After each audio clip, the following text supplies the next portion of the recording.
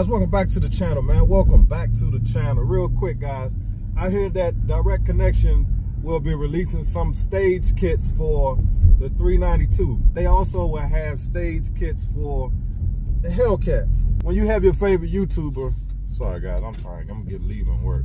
When you have your favorite youtuber you just take what they say and run with it. But when you're dealing with these cars especially these expensive hellcats these 392s uh, you got to do your research.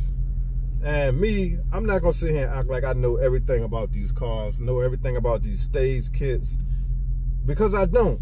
And I'm still learning as I go. And I'll never try to act like I know everything.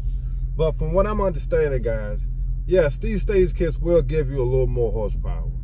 But you have to ask yourself, is it really worth what you have to pay to get these little bit of gains? Me personally, if you got a 392 I can understand wanting a few more horsepower. Yes, Dodge will warranty the parts that come with these kits. But what they're not telling you guys is this. First of all, it would be a waste of money if you're not even the type of person that race your car. Because some some folks are just on the internet just yapping, knowing daggone well they have no intentions on racing their car. Not only that, and this is the main thing right here, guys. If you race the car with a stage kit, with these stage kits installed on your car and something happens that's not covered under warranty. Now hear me, hear me out. If you're caught racing or if they find out that you were racing the car, it's not covered under warranty. Whatever happens to the car, you void your warranty. I have an email right here from an individual on the forum who emailed Direct Connection and asked one of the guys about getting a stage kit and this is the email he received back. So this is proof right here that your warranty will be voided. Check this out.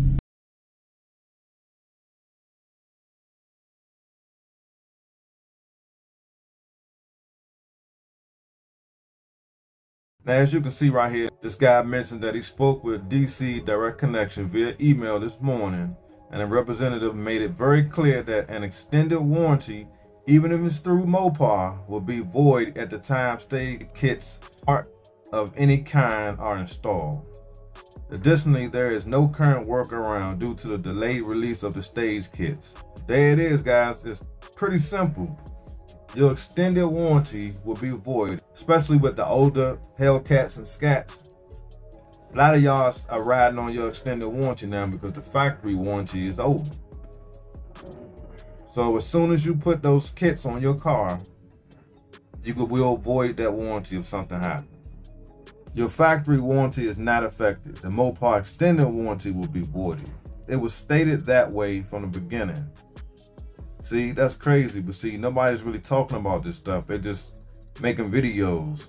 I have it in writing now. Direct connection upgrades will void the extended warranty. It's Dodge, man. It, you just you gotta do your research, guys. Let's see what else we got. Would it be too disappointing, really? Okay. So it seems like your factory warranty, you may be okay, but if it's found that you're racing, you avoid that warranty as well. So you just gotta be super clear on what's covered if something happens, guys. That's all I'm trying to say.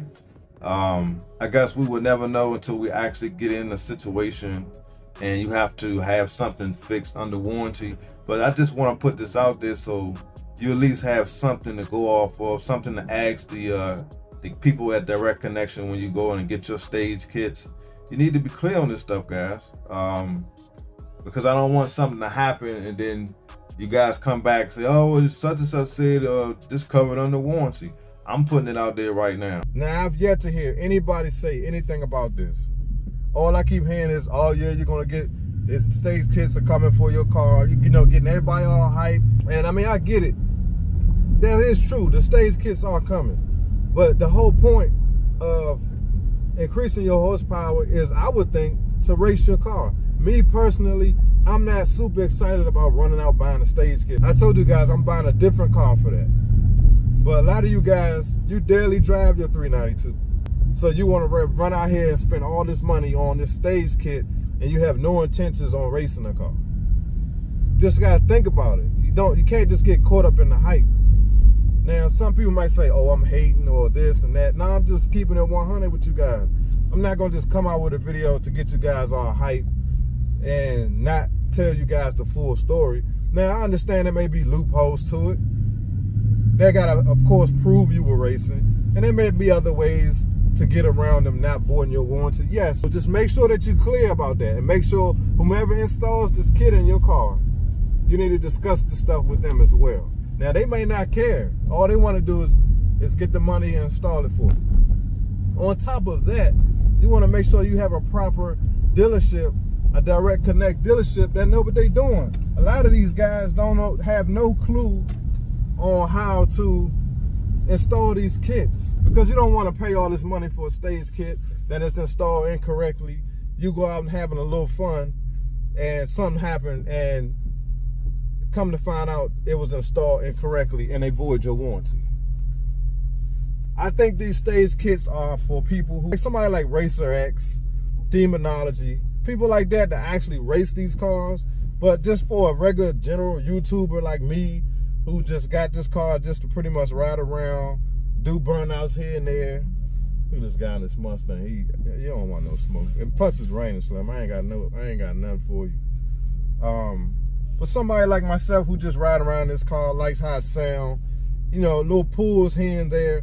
The stage direct connection stage kits, it really is none of my concern. I'm not, I'm not sitting around waiting for that to be released. Because first of all, if I was to do a, direct connection stage kit, I can't race my car. So what's the point? What you gonna pull up at Cars and Coffee and just say, oh, my car got 780 horsepower. I have the direct connection stage kit. So what? What's the point if you ain't gonna race the car? So it makes sense to do it once the warranty is up on your vehicle. Then I can see, yeah, you know, after the three years, 36,000 miles, uh, you want to increase the horsepower in your car, it makes sense to get the kit. But if your car is still under warranty, you get this kit and you go racing, I don't think that's a smart idea. So leave your comments, guys. If I, if maybe I'm wrong, I don't know. But if you guys got any more information on this, let me know. Um, I'm always open to if I'm if I'm wrong, hey, let me know I'm wrong. I'm open to um, positive criticism.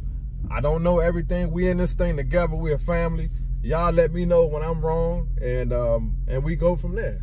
So if you're new to my channel, man, hit the like button, subscribe. I appreciate y'all watching. I see y'all on the next one. Peace.